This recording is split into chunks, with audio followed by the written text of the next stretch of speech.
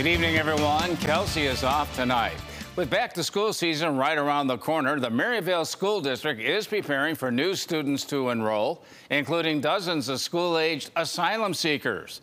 News 4's Tara Lynch has the details on how the district is getting ready. Tara? Well, Don, Maryvale Schools says it's preparing for an additional 66 students to enroll in the district this school year. But there are some significant hurdles ahead, including making sure there's enough English, English as a new language teachers.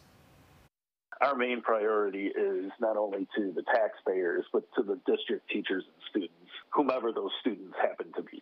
Maryvale School District enrolls about 2,000 students per year, and now they'll be adding 66 school-aged asylum seekers. School Board President James McDermott calls the lack of communication from other leaders frustrating. That just delays us making decisions on how we're going to move forward. Um, you know, these aren't the only students that are here um, in the Erie County area. There are more than 66 students. 66 students just happen to fall into the Maryvale district. The district says it must provide an education to all school-aged children within the district limits per federal law.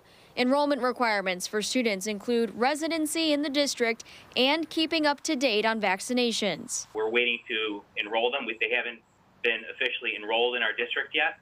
Um, I know the Erie County Department of Health has been uh, working to provide vaccinations. Maryvale Schools says the budget for this school year was already completed and approved, so it will have to cover additional expenses for these students with that money. The district provides free breakfast and lunch for all students as part of a federal program. New bus routes may have to be created to accommodate for the students, too.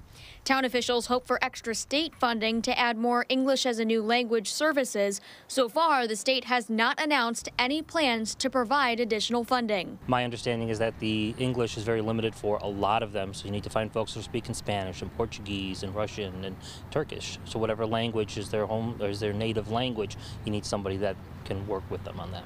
Maryvale ensures it will provide an education to all students, no matter what. Our concern is uh, to take care of these kids um, and keeping in mind that the kids didn't ask to be put in this uh, position. So I want to make sure that um, we provide them stability and the best education possible and I'll leave the political angle to the politicians. We're told there may be additional school-age children in other districts in our area, but it's unclear where they will be enrolled. We did reach out to Buffalo Public Schools and Cheektowaga Sloan and have not heard back. For Nunn Studio, Tara Lynch, News 4.